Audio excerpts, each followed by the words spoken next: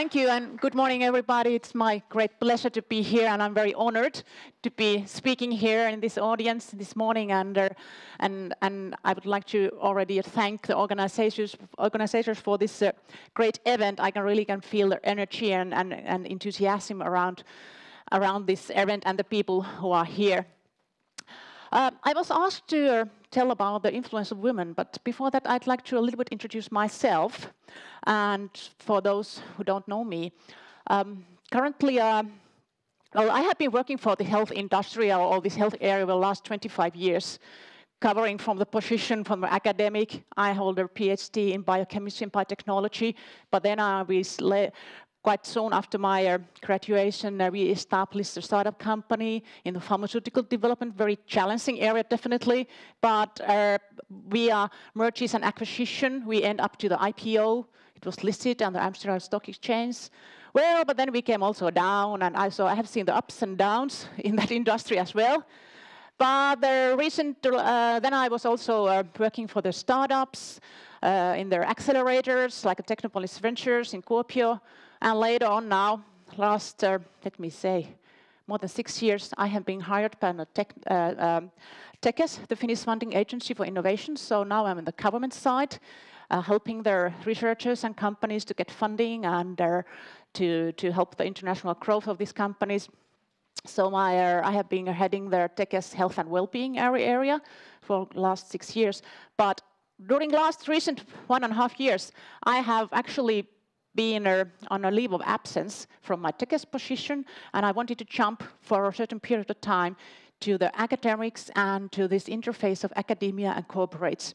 So I have been a kind of a loan to the University of Turku and Turku campus to, to help their help to develop those processes and tools and services in this academic area to boost the academic innovations, uh, inventions, uh, uh, this commercialization of those findings there, not only in the University of Turku, but the whole campus area covering the four universities and university hospitals. And quite recently, we established a life science accelerator program there, and there's a Poot over there who will uh, tell you more about these accelerator programs. And one part of my job has been also to build up the collaboration with the companies, not only, not only the pharma and health tech companies, but also companies like IBM, Microsoft, IT, that we have heard a lot of yesterday that how they are merging this, this area and what kind of, uh, what kind of uh, impact they may have. But that was shortly the thing. So uh, about myself, but uh, yeah, this is my when we are talking about the influence of women and uh, women in health, could anybody, or if I just ask that, just name one person or two in the area of health, women who are influential. Who can I just say one name which could come up to your mind? Great, yes, wonderful. Lena is one of those influential women, definitely in the VC side.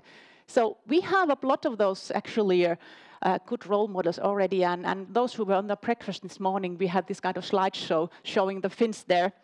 But actually, I will start from the ancient Greeks. This wrong way? What's happened? Okay, yes. I don't know if anybody you know about Metrodora. She was a Greek female uh, physician, and uh, she wrote a study on gynecology and she wrote a book of the disease of cures on women. That time, women, if they were any type, any way related to medicine or health, that was kind of midwifery thing. But she really wrote a book about how to cure women. And, and one of her greatest uh, um, uh, uh, supervisors or, or uh, um, advisors was himself Hippocrates. And her book was referred after many, many years when it was published in the Medicine in Greek. But this lady is, I think, you, more familiar to you. It is Marie Curie, the Polish mathematician and scientist who actually invented with her husband polonium radium, those elements. And, and she got the Nobel Prize in physics and, in, and also in chemistry. And those findings that she did in the science has really changed and affected during the whole decades, like even today because those first uh, cures in cancer and, and, treatments were based on radium, for instance. Well, they were definitely a poison, but anyway, it cured the cancer. But then also the development of X-ray technology, which is even, even today widely used in diagnostics. But one particular thing about Marie Curie was that she also showed the way how to combine uh, science, technology, and the private life. So re she really was uh, very joyful and, and, and raised up the awareness that women can both have, even that time, different roles in the society. But coming back this today, there are many ways to raise up the women and make the top 20, top 100 people, uh, influential women in the world. This is just a snapshot of a US Modern Healthcare Technology magazine that lists every year 25 the most influential women in world, and I thought in that, that sense it means in US. But here are just a couple of examples, or four examples of those, and especially the roles of the women. There is a Nancy Howell. She's the president of Carilion Clinic, huge clinic covering the clinic, medical school, uh, whatever, just name it. We have Deborah DiSanzo. We have IBM yesterday here, even today, I think. So she's heading the IBM Watson Health globally, having 2,000 employees, scaling up the Watson Health. And I think this could be a kind of a good uh, uh, objective for us to get her next year here. So I just throw this poll to the organization so we could get her here next year. We have Judith Faulkner. She's the founder and CEO of Epic Systems, very familiar to fin in Finland. And, and she has been a long-term uh, CEO of the company, building up, uh, offering this um, uh, e-health record, uh, electronic health record system softwares and, and systems. So this is really a dominant company. And Emma Walmsley, she's, uh, she, will, she has been now been appointed in the beginning of April to be a CEO of GlaxoSmithKline. Smithkline. There, she's the first CEO of these big uh, global pharma companies in the world. So these are just examples of, of uh, from US. But if we want to understand a little bit better that um, what kind, what is the situation, and, and we want to go a little bit back to the numbers, and and uh, it's not very easy since different countries, different companies, they record these things different in a different way. Even the government models are different. Uh, here is one uh, graphic about a number of women, actually board members, in the largest publicly listed companies. Because there you can get the numbers from the listed companies, it's, it's easier. But if you want to have all the companies, it's almost impossible. So here we can see, and this is in Europe, so these are the board members of who, and, and uh, relatively to the men. So uh, Finland has been, is been in the top of the list already for several years. And which is remarkable is that it is without the legislation, without the quotas. And this has been kind of a self-born system in Finland. And, and also Sweden has the same thing, that there is no legislation behind that that you should have. But if you, for instance, like Norway, well, it's not in the list because it's, uh, it's not in a EU country, but uh, two years ago in Norway, they got a legislation that 40%, 40 percentage of all the publicly listed, but also um, uh, government companies, you should have 40%, more than 40% of women in the boards. And Denmark is the least in Nordic countries. But anyway, Finland has been in pretty well in this respect. Uh, if we want to get a little bit broader view, to the women in, in, in, the, in the corporates, we should look at their, the women CEOs. And now, again, from the listed companies, because otherwise it's a little bit difficult to get the right numbers. And here we can see that Finland is under the average in EU. Because in EU, the average is 5, 5 percentage, and in Finland, we have just gone to the 4. Yeah. And uh, so there is a lot to do still in this respect. And well, what about then? Uh, of course, there are also other positions in the companies, not just board members or CEOs.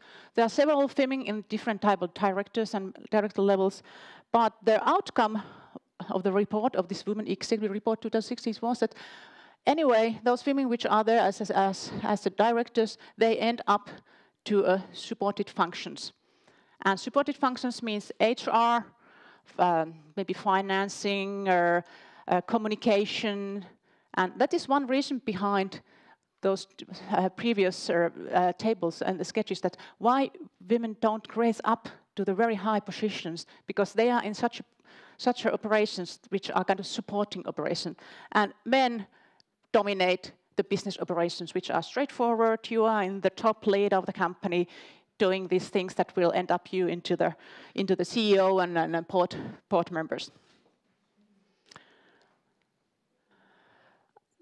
These statistics I showed are based on uh, this report that is done by the Finland Chamber of Commerce. Uh, Chamber of Commerce, they actually publish every year uh, kind of report and, and uh, the behind this whole thing is that they want to support uh, both the sexes to be in the right positions in the companies, uh, in, the, in the corporates. So, and, and one of those key issues in the program is because we can see that there is still some imbalance in that. So men, men, men dominate the, the positions in companies. So is to help to understand what is behind the phenomenon, what we could do. And, and to boost, and, and this, they have this kind of, of women program, ongoing leadership program, where uh, the aim is to, to uh, uh, uh get the awareness of this phenomenon, but also to support and try to get women to the higher positions in companies. And uh, some of the recent uh, developments has been that the number of women, women, directors has continued to grow. And last year it really reached a record level. That's great. Even uh, a number of CEOs in the listed companies has, has got a record number last year. It's not much, but anyway, I think it's a five or six person, but still there is some uh, some record uh, done. But uh, what is still uh, an area that we need to work on this is that at the percentage of women executives has decreased after many years of steady growth. The report doesn't take a uh, give the answers of why it's that. It might be kind of a normal fluctuation in, in these, these numbers, but uh, still, there is a lot to do. But do we have role models in Finland? Uh, like mentioned, we have had some positive development. 2011, there were no women CEOs in publicly listed companies. And now, today, we have even six in small and medium-sized companies. We have to always think about also that what, what were they discussing about? The big corporate, really big uh, publicly listed corporates, publicly listed small and medium-sized, or then just those very small companies. But none of them are in the health sector. We have uh, CEOs in listed companies like in Marimekko, Sanoma, uh, Tecnocrea, a couple of these others. And uh, I think everybody noticed that Hille was uh, appointed to be a president and CEO of Nokia Tires this, this spring. And now we are talking about large, very big uh, listed company. But as we all remember, when this was published, it was also published that, well, she spent seven years at home with her children. So that was kind of a, thing that was definitely not mentioned if it was a man. So, but but uh, anyway, it was a positive, and I think this was a positive role model also that you can combine both, like Marie Curie did. You have your, your work, your science, your things that you're doing you are really enthusiastic, but then you can have a joyful life and, and, and your role at home and the children. And I think Finland is one of those best places in the world where you can really combine these things. Yeah, that was the one. Uh, then some other findings from the, that report. You can get this Finland Chamber of Commerce report from internet. It's in English and Finnish. But some other findings, just wanted to raise it up, is that uh, uh, that maybe that may explain about those numbers and what we can really do for to exceed and, and to promote women in, in the businesses. Uh, business or engineering degree is, uh, has, has the most common education of the CEOs and, and at those level, top level their positions in the companies, and that's quite obvious. Uh, but what was also found that women executives have an average and higher education level than men. Well, women tend to have a good education in Finland. And uh, most women executives in business management are in energy and healthcare.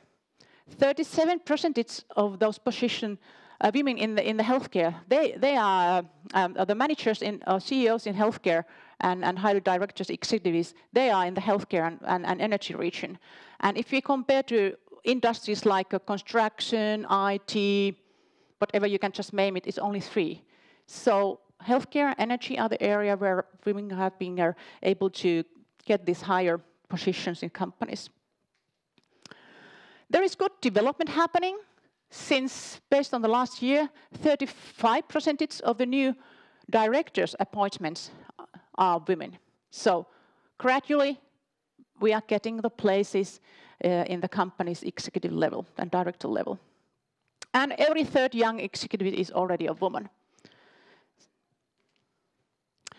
But to be able to see even the wider perspective for this same phenomenon, we, she should also uh, look this entrepreneurship. And I think that is also the, the issue of today, entrepreneurs and startups. Currently, uh, one third of the entrepreneurs in Finland in general are women. But what is remarkable is that they are very seldom in the growth business. They are more in the social and healthcare services, maybe restaurants, education things. And, uh, but even there is a positive development. It has been a, uh, recorded that 40% of the new entrepreneurs are already women. But still, every tenth of the startup uh, entrepreneur is woman. And that can be, the, the number can be even lower if we are uh, record the, the tech startup funding applications, which is, has been uh, recently about 6%. So there we have a lot to do, how we can really uh, uh, boost and, and, and influence so that the women will start to also create startup companies. There are some reasons behind. It's just certain that I wanted to raise up. There are plenty of others, I think. But it's also that most of the startups, as we know, they are established around technical solutions, like our softwares. And when we compare to the statistics of those who start, study the technical areas, it's about only one fourth of the students in technical uh, in the technical schools are women. If we compare to other areas like humanities or medical, even medicine, there's more than 50 uh, women. And like mentioned earlier, most of the women end up to the service business in healthcare, social care, education, or tourism type of things, and they are not the kind of a, haven't been kind of a growth areas previously. Definitely healthcare is now, but, but uh, not in the previous. And in Finland, we have a very large public sector. We have the public healthcare system, and this attracts women a lot. It is nice and steady career, easy to, easier to be there than jumping to the very insecure uh, business and startup uh, uh, world. So that might be also something behind those figures. But what is behind everything here? Is it, do we, do we really, uh, do we, uh, is it about the sex? Is it about the men and women? Are we so different? Or is it attitude or, or mindset here? Is it the mindset of the women or is it the mindset of men? Or does it not do nothing of, with this kind of a men and women thing? Or is it about the culture? And this was a little bit shocking picture some sometimes ago in the news, and uh, and uh, definitely wouldn't be published in Finland. But but uh, but this raised up a nice discussion around this issue. Actually, I personally I, I have been in this business in the academic and, and, and, and all, all the level of corporates and then in the government, I haven't faced this kind of a discrimination or, or attitude against women. Actually, uh, I, the most the best mentors and supporters I have had previously in my, my career has been men, my bosses, my supervisors, my colleagues. And uh, I think this is also something that we should remember today here, and even if maybe we can discuss it in the panel so that we don't isolate as a women here.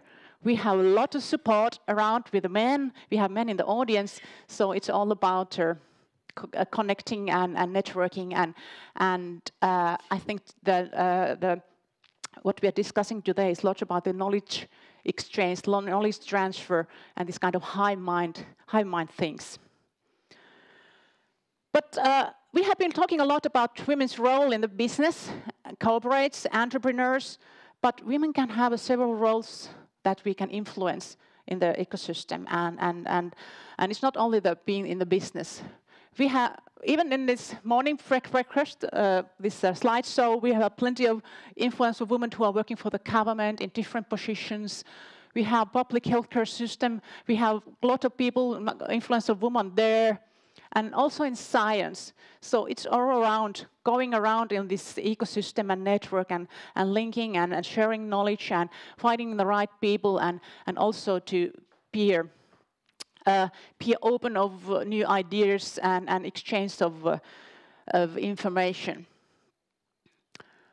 I wanted to raise up one person from, from Turku She's a, she's a very good role model to be a very uh, academic and highly uh, uh, in that area. Sirpa Jalkanen, she, she has got the most uh, highest academic uh, honor that could be in Finland. She's academician of science. But she has established, been the founder of two bio and pharmaceutical companies which are now listed in New York and London Stock Exchange. And she got the EU prize for women innovation contest.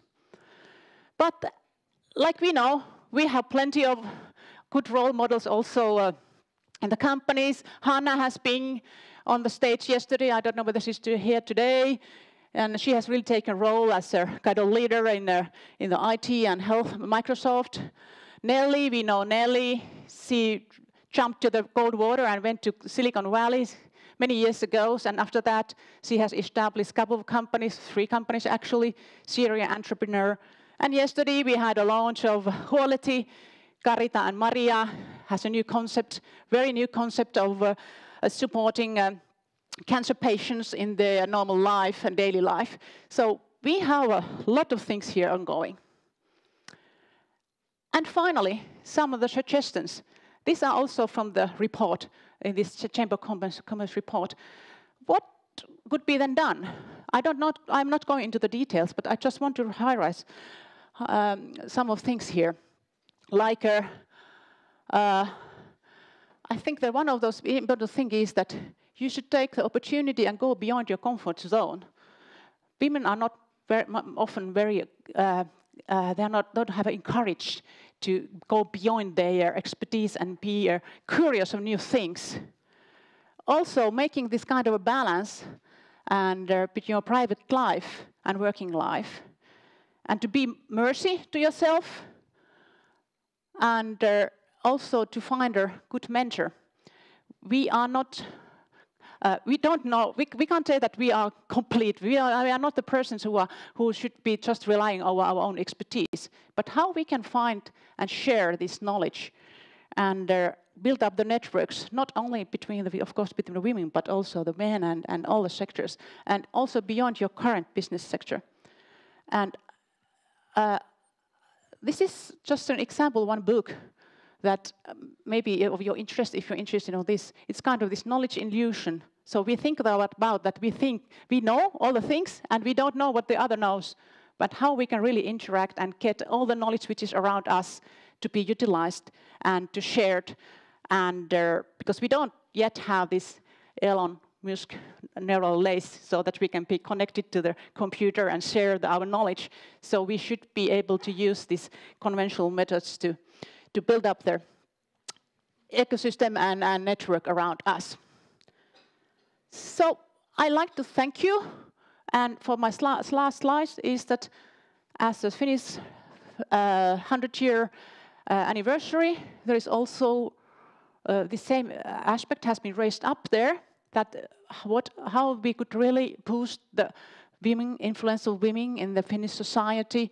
And uh, uh, there are plenty of programs ongoing the same, same issue and, and topic. And just kind of a free translation of the Jenni Justina Niemi is that the women leaders, what they have in common is that they have a, a courage to work according to their values and they are open for new things and they have a ability to a capability to to challenge themselves. So this is something I think just for the remember you, and uh, I will stop here and wish you a great conference and uh, good discussion now on the panel. Thank you.